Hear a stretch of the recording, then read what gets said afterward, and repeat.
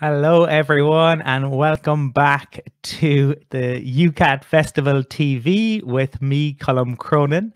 And today I am absolutely delighted to be joined by a colleague, but also a friend and one of the most talented individuals I know, Gavin Farber. Welcome to UKAT Festival 2020. How are you? I'm good today.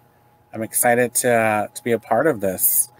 Yeah, well, delighted to to have you part of it. I mean, truly, UKAT is going global, and um, I think part of the the nice piece about the the fact that it is a virtual event means that you know it, it does allow for participation from all over the the world, and you don't have to worry about uh, the jet lag that uh, you can get if you were flying over to to this side. Um, Tell me though, for for viewers, how did you get involved with with UKAT? So I first met UKAT reps when I first went to the NACADA annual conference back in 2017.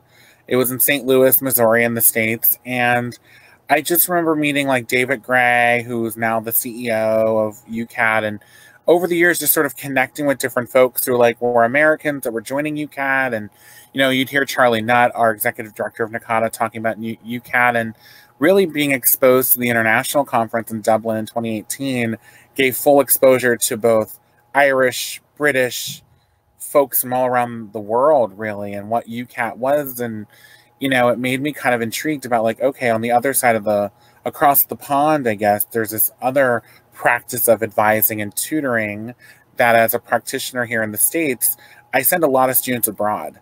And I want to know, like, if they go to Ireland, like, what are they expected to be? What's that advising experience going to look like? Um, so for me, it was about connecting the dots. And we're global citizens. And I think we're in a field that is not just an American field, it's a global field. You know, it's why NACADA switched from the national to the global, like back in, I think, the early 2000s. Um, so it makes me feel more connected to the profession, honestly. Yeah, um, I, I, I totally understand what you're saying, and I like you. I really enjoy kind of finding out in which the way advising works and personal tutoring works in, in different countries uh, around the world. And I know one of the things that you are involved with with UKAT is the special interest groups, right? Correct. Um, I'm coming in as the special uh, interest groups coordinator. Um, and I'm going to help sort of organize the, the coordinating of the leaders in those six groups and just sort of just provide support to them. Um, I got involved just because in, in the States with NACADA, um, I'm, I'm a chair of a, one of our advising communities on training and development. So it's a very large community with a lot of moving global pieces, I guess I should say. And so in the last two years I've grown a lot as just someone who who's able to connect the dots a bit and you know and, and getting to meet those leaders last week in our first kind of Zoom chat was phenomenal because it now put faces to names. And you know I'm really happy that the fest is going to have you know these meetings going on. So if you're interested in these areas go to them meet people network. You know that's sort of I think the purpose of why these special interest groups exist. Um, you know and what are some of the special interest groups, Gavin? Just to, I suppose for, for viewers watching this, if they're not familiar, um, what are the, the special interest groups and, and how can they get involved?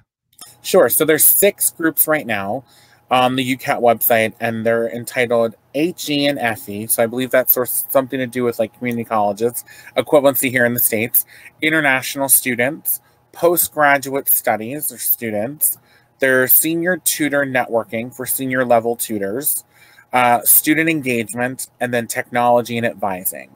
And these th- six areas are kind of big bulked areas, I think, that UKAT's doing.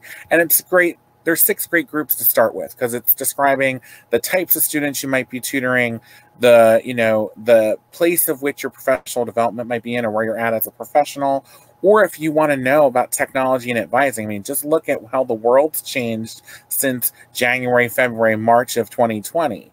We're all working digitally. We're all using online platforms to advise students. And so, you know, George Gray, who's, a, who's formerly of Ohio State, who's like a technology whiz, is helping to lead that group, and he's just a great asset to UKAT.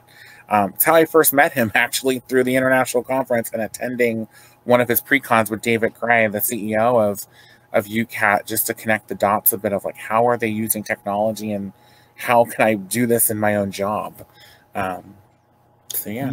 Yeah, I think it's it's really interesting because I know that George and David have been working on the technology side for for so long, and as you say, it it could not be more relevant. And I think his closing keynote will be one of the the highlights of the conference. But there are a whole host of things to look forward to. And I hope that you will get the opportunity to dial into some of them. Um, I am sure that there's more information on the UKAT website if people want to know more about the special interest groups. And also for any of our viewers, you can find more information on UKAT's suite of social media. Gavin, I want to thank you for taking the time to chat to me today. I really appreciate it. And I know our viewers will as well. And the best of luck with the special interest groups. Thank you so much, my friend. It was a great way to spend the afternoon.